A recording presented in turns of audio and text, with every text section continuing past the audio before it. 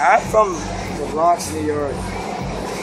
I started the band in Brooklyn, New York.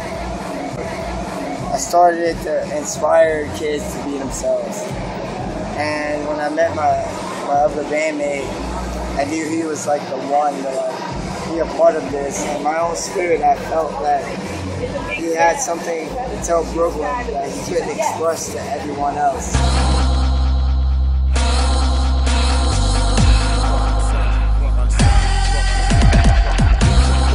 Talking about telegrams.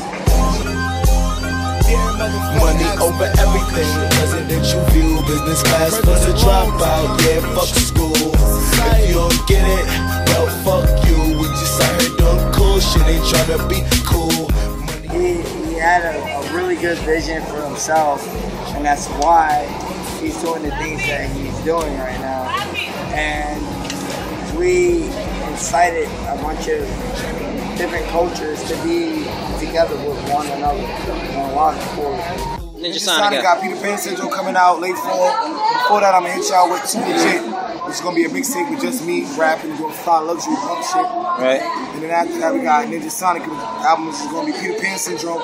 It's basically a, a fusion of like electronic punk rap with a little pop feel. So it's gonna be tight. We got Gaga, producer working on it. It's gonna be legit. Bad bitches round me, bad bitches raise me. Met a couple bad bitches, had a couple babies.